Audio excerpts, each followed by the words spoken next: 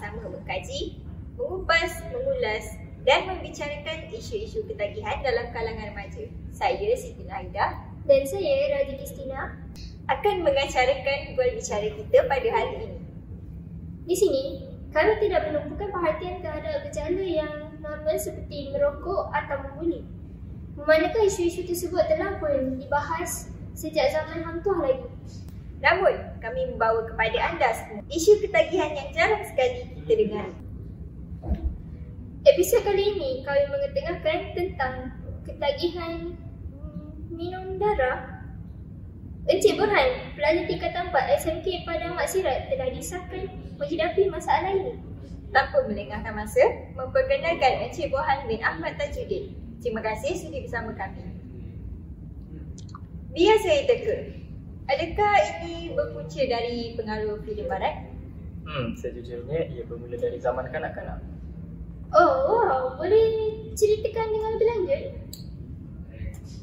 Saya bersama rakan-rakan sedang Rio bermain. Kemudian, seorang kawan saya ni, dia terjatuh. Ada darah yang keluar dari luka dia. Pada mulanya, saya sangka dia macam sirap. Jadi, saya tanpa berfikir panjang, saya terus jilat darah yang mengalir itu.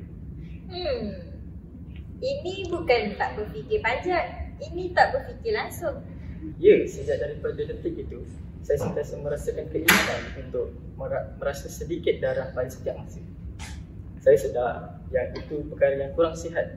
Jadi, dos pengambilan saya sangat sedikit dan akan dikurangkan secara berperingkat. Baiklah, saya juga yakin penonton di rumah juga ingin tahu bagaimana Encik Bohan menjalani hari-harinya sebagai Dracula celuk. Jadi, jangan ke mana-mana. Kami akan kembali dengan perkongsian yang lebih lanjut sebentar lagi.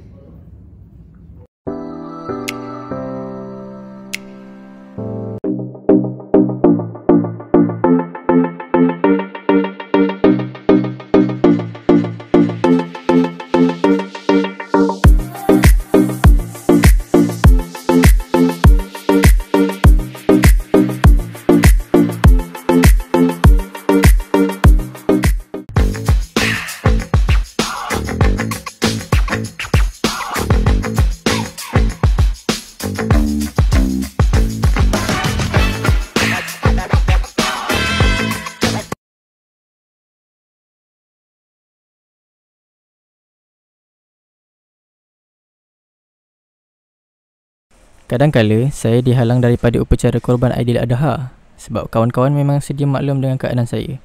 Bukan itu sahaja, kadang-kadang bila bermain bola, saya tak dibenarkan untuk mendekati diri dengan siapa-siapa yang cedera. Okey. Walaupun perkara sebegitu sedikit mengguris hati, saya sedar dan hargai niat mereka untuk membantu. Mustahil jika saya kata sekiranya saya selesa dengan keadaan dan masalah yang saya sedang tempuhi sekarang.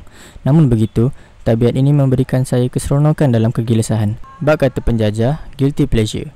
Saya mengharapkan ketagihan yang luar biasa ini tidak berterusan. Melihat bagaimana orang-orang tersayang, keluarga, rakan-rakan berasa risau melihat keadaan saya ini. Tidak dapat dinafikan bahawa tabiat ini sangat popular dalam layar televisyen dan panggung wayang dunia barat. Begitu juga dengan penyebaran konsep Dracula dalam masyarakat seluruh dunia mempengaruhi sesetengah individu. Dalam konteks Encik Borhan, kita akan menganalisis bagaimana ia mencorakkan kehidupan beliau. Pertama sekali, melihat kepada apakah tindakan kimia yang berlaku semasa proses meminum darah itu sendiri, memahami bahawa darah itu sebahagian dari physicality manusia memberikan sebuah tanggapan bahawa ianya selamat dan sesuai untuk dimasuki ke dalam tubuh badan melalui rongga pemakanan. Terdapat banyak cara untuk mengatasi ketagihan ini, mengambil kira faktor ketagihan yang dialami, penagih perlu mengamalkan makanan dengan sifat yang serupa, antaranya ialah air sirap dan sos tomato.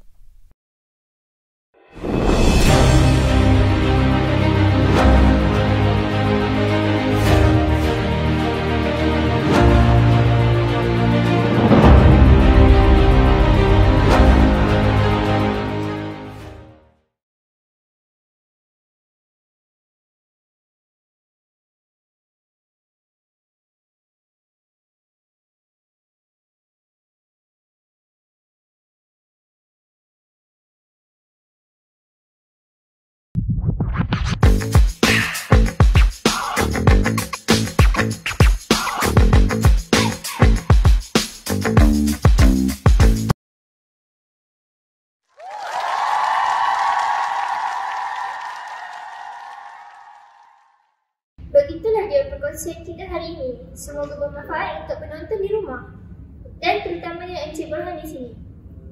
Encik Borhan, terima kasih sekali lagi kerana sudi bersama kami dan semoga berjaya mengatasi dan meninggalkan tabiat ini. Terima kasih kerana menonton dan jumpa lagi di episod yang akan datang. Ciao. Encik Borhan, pelajar tingkatan 4 SMK Padang Maskirat telah disahkan menghidup. Stop. Bodoh Tekan sedikit darah yang Saya akan agak macam mana Wah. Artinya, sebagai Dracula. Eh, ayo. Ah. Start. Baiklah, saya juga yakin penonton di rumah juga ingin mengetahui. Kau memang bagus. Salah. Oh.